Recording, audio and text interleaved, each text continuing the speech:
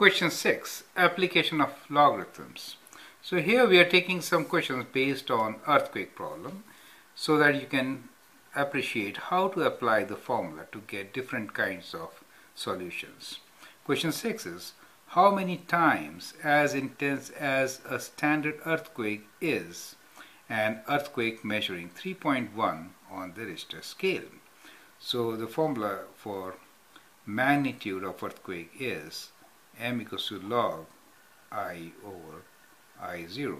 So when we say how many times as intense as a standard earthquake is, so that is the intensity of standard earthquake, is an earthquake measuring 3.1. So if we have an earthquake whose measurement is 3.1 on the Richter scale, how many times will this I be in terms of that I, right? That is the question, right?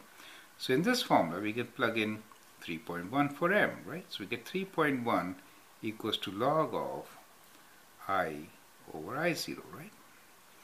Now, this is to the base 10, and therefore we can write this in exponential form as 10 to the power of 3.1 equals to i over i0, right?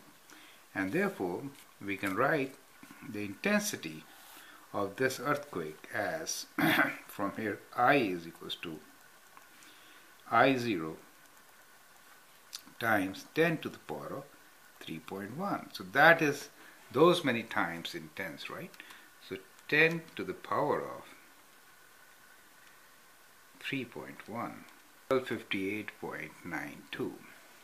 So we get 1258, so we can say 1259 times I0, right?